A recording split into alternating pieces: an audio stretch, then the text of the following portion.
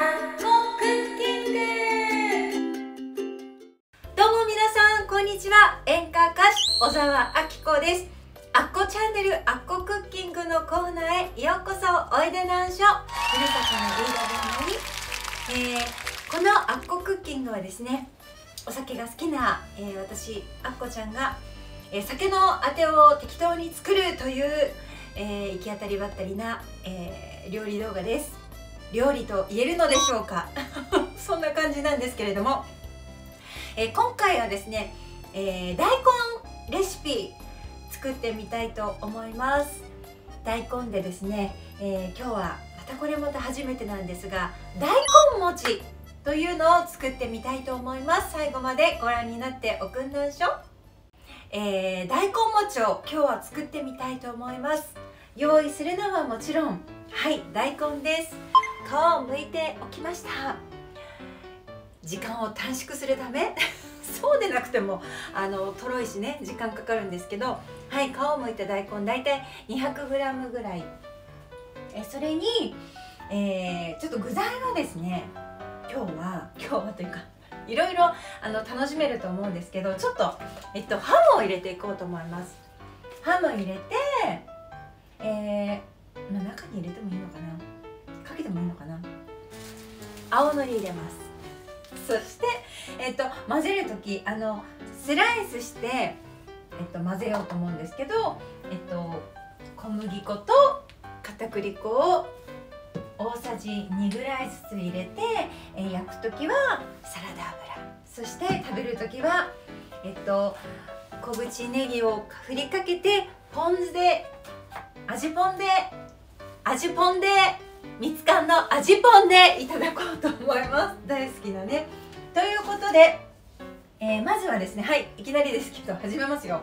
はいこの大根をですねこれ人参しりしり用にの買ったんですけどはいこれにスライスしていきたいと思います。お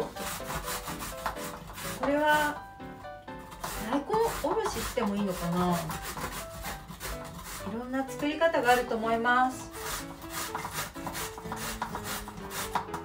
これで何人分ぐらいになるんだ何個ぐらいできるんだろう？何個？でももう普通に焼いちゃおうと思って後で切ろうかな。よし。すごく。はいこちら三浦半島のですね。おおはいなんかもうこのまま食べてもこのまま味ぽんかけて食べても何？大根サラダ？あのおかかかけて。あ。忘れてた。おかかもかけます。忘れてた。おかかもかけます。もうね忘れる。いつも何かしら忘れるね。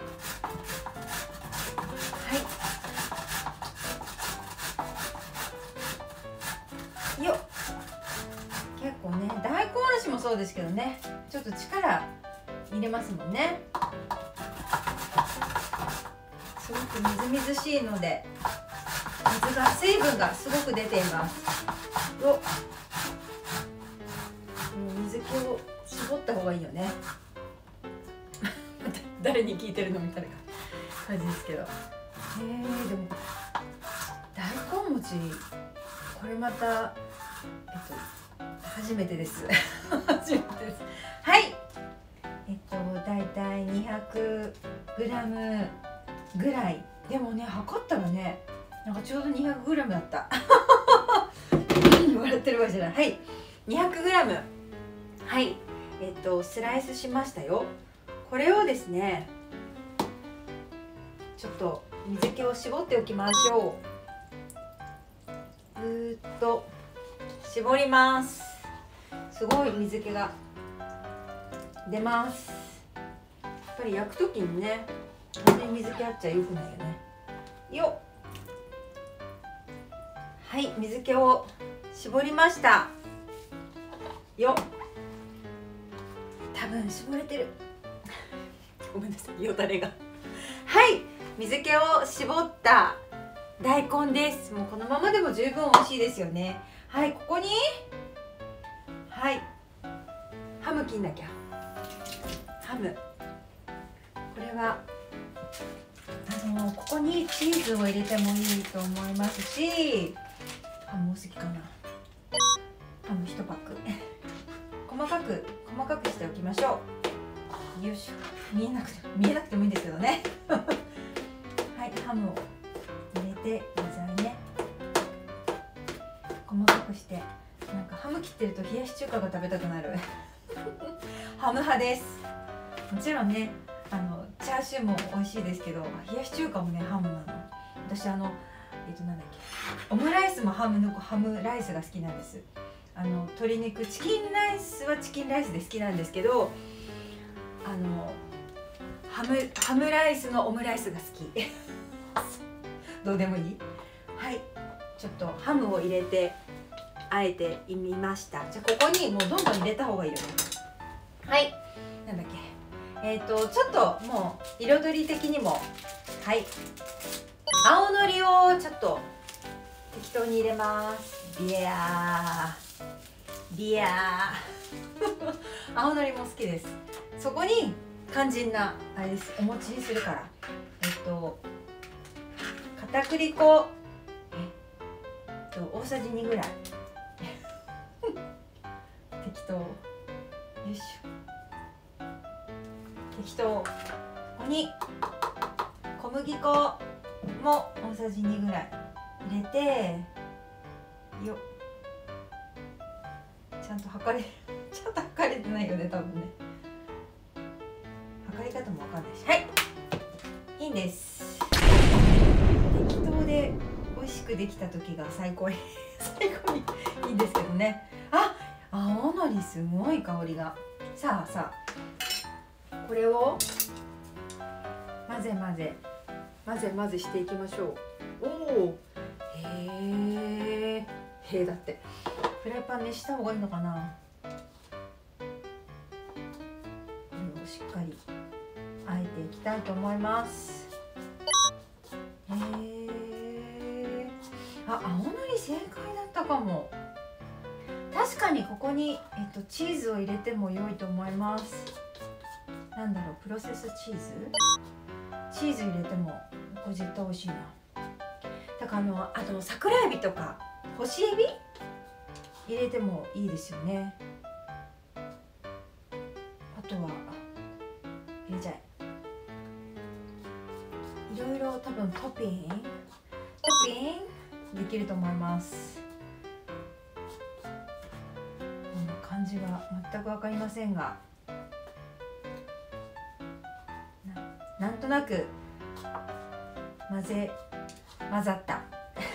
混ざったようだ。さあサラダ油を敷いて引いて？敷いて。はい。サラダ油で。はい気をつけます。はい。取っ手の取れるティファールです。これで焼いていくのか。多分ねいろんないろんな作り方あります。本当に。あると思います。ねバーって焼いてなんていうのお好み焼きみたいな感じでやってこうちょっと切って食べるちょっとイメージです。今日は。またそこから発展ができると思いますが今日は そのイメージでちょっと一回やってみたいと思います。ごめんなさい。よだれがよだれが飛ぶよ。ごめんなさい自分でいただくので許して。はい。ではまんべんなくというかね。はい油を敷いて。サラダ油ですが。でこれもまたね油なんだろう。ごま油とかでもいいのかも。とりあえず行ってみます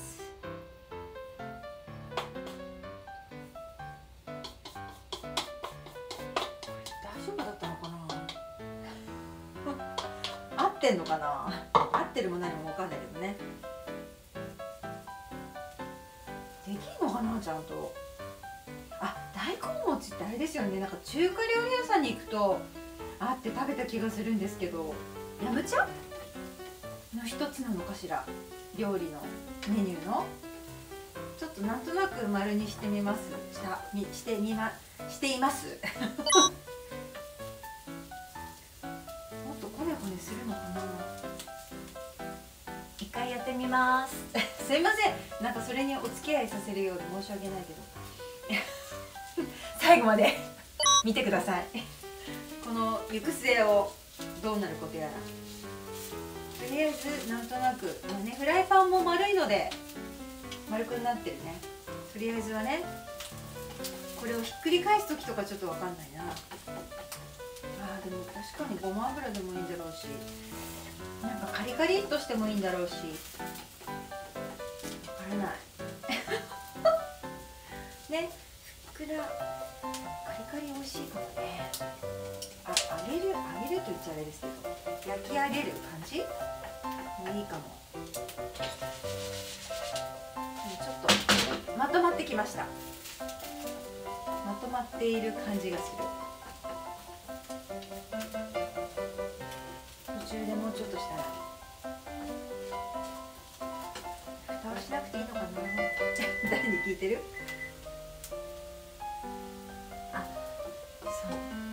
前にもなったんですよね。ピーピーってなんか電電池がもうすぐ切れますよみたいな点滅してるの。電池交換してないから。また催促されました。でもガスは大丈夫かな？こ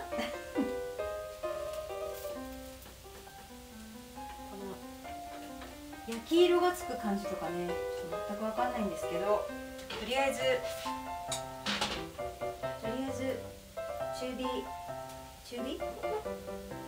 あなんかこれ火があれかも電池とやっぱ関係するんですかね？あやだ急に火が強くなった。なんかそれそっか電池とか関係してるのか。火がね強火の方に矢印を持っていっても強くなら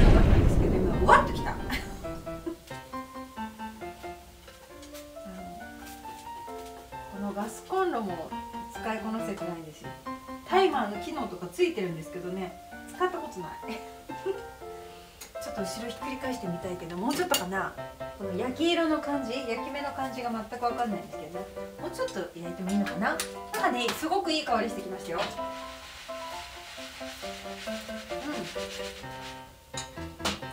うん。香りはいい。香りはいい。本当ね洗い物とかしながらやりたいところですけど、ね、そんな余裕もございません。作るのにいっぱいいっぱい。あ今日飲んでないね。どうしよう。ちょっとねさっきねもうすでに金麦をいただいてるのでねそんなに金麦飲みすぎてもな。飲みすぎてもいかんなと思っとるんだに。ちょっとな。だもんでな。だもんでって。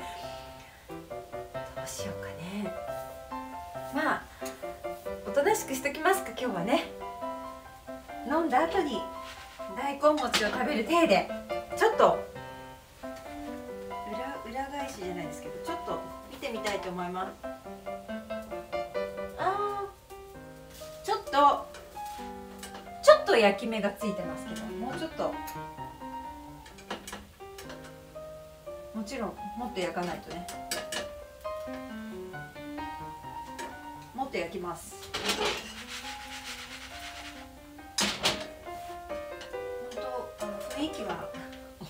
好み焼きみたい。これちゃんと焼けんのかな私。不安になってきた。大丈夫かな私。あじゃあもうしょうがない。しょうがないって言っちゃいけない。はい。飲みます。飲みます。はいちょうどちょうど目の前にあった。はい。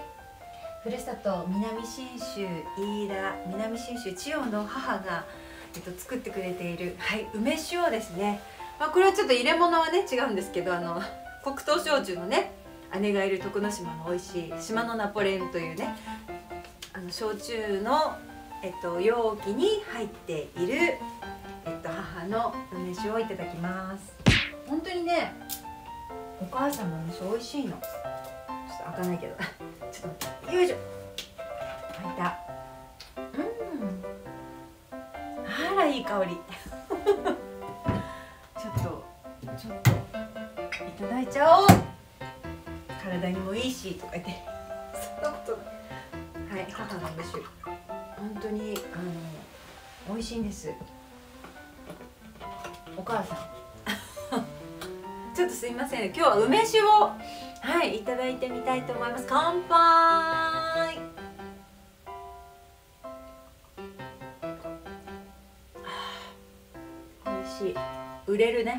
母さん。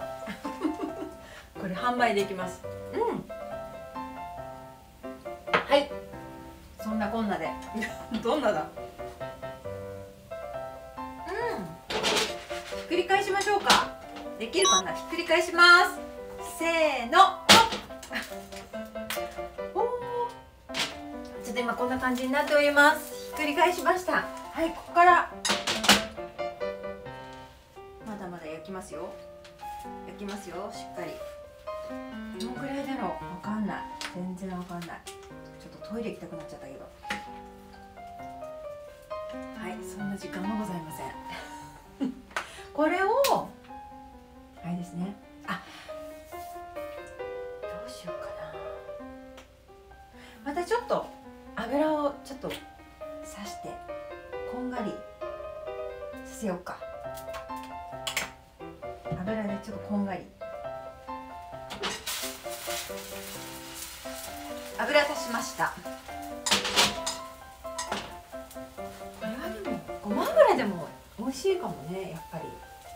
うん。うん。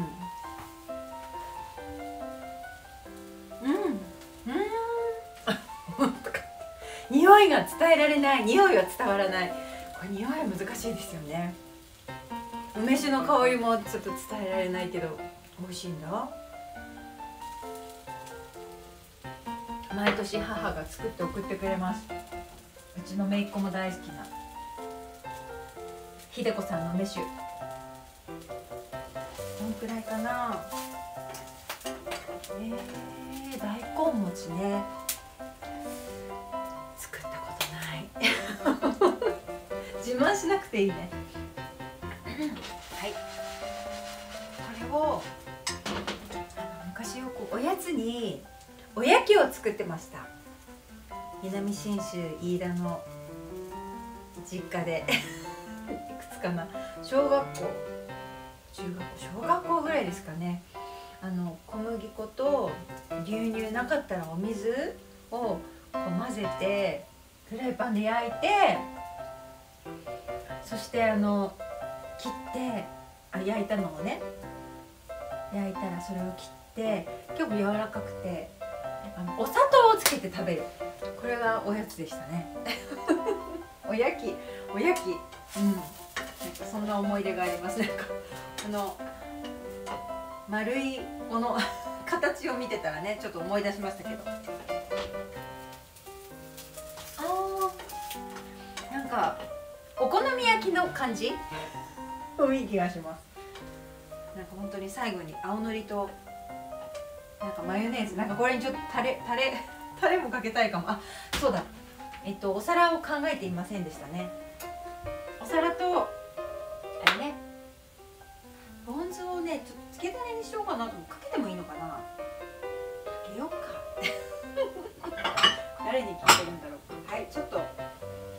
器を用意しました。そこにはいここでまな板の上で切りましょうかね。切ってお皿によそって削り節と小口ネギをそしてポン酢か。ちょっと味ポンでいただいてみようと思います。あとなんだろうね。酢醤油で食べたりとか。多分いろんな食べ方ができると思う。それこそあでもちょっとおたふくソースにしたら違うのかな。ねその大根との相性が。全く分かりません。どんな感じ？これもちょっとひっくり返してみたくなるんだけど。どよっ！あ怖いな。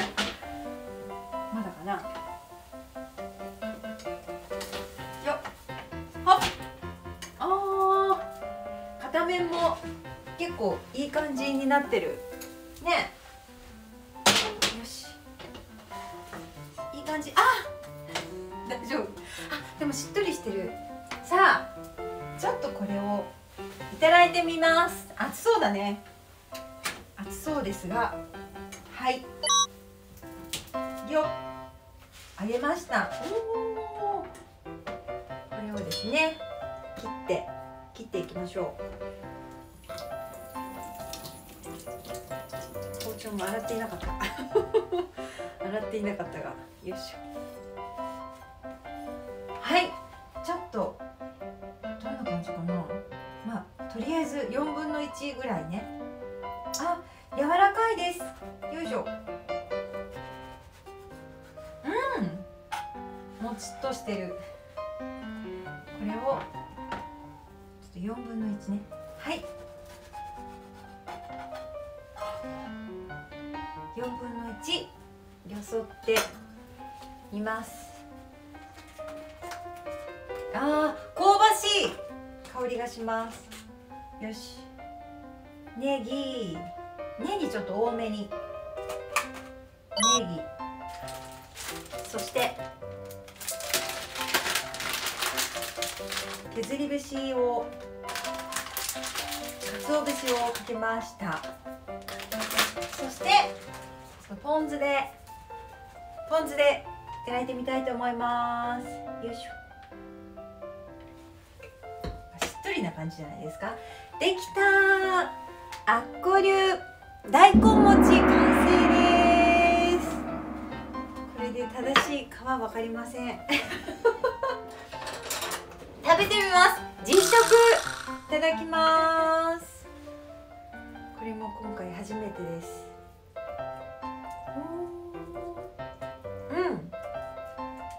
人目。これはまたかもっとカラッと焼いてもいいのかもね。いただきます。うん熱い。あ赤い。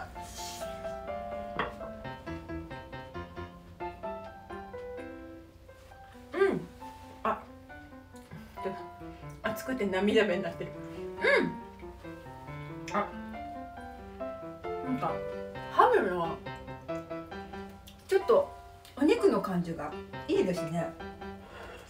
しすぎなくて。よかったです。この具材いろいろ楽しめますね。ちょっとチーズも気になった。ですがちょっとような感じじゃないんですけどハム合いますね。ハム、まあ、初めて作ったんですけどね。美味しいです。あとさっぱりポン酢でいただけて小口ネギと削り節をかけて、えー、大根餅を作ってみました。母お手製の麦えっと麦じゃない。ビールじゃないです。梅酒。梅酒にも合います。うん。これはですからね中華だったら紹興酒でも合うと思います。ねもちろん。ビールでも。はい。焼酎でも。日本酒でも合うと思います。もっとこの切った後にまたカリッと、えー、焼き直す。ちょっと揚げる感じで。よく焼きよく焼きするのもいいかなと思います。ちょっと今度はチーズも入れて試したいけれども今日はですねちょっと具材に、えー、ハムを入れたっていうことがあっこ流でしょうかね。大根餅ハム入りの 大根餅を今日は作ってみました。えー、いつもドタバタクッキングですみません。ですがチャンネル登録ぜひしておくんなんしょ。よろしくお願いいたします。ということで演歌歌手小沢明子でした。また来週。バイバイ。熱海。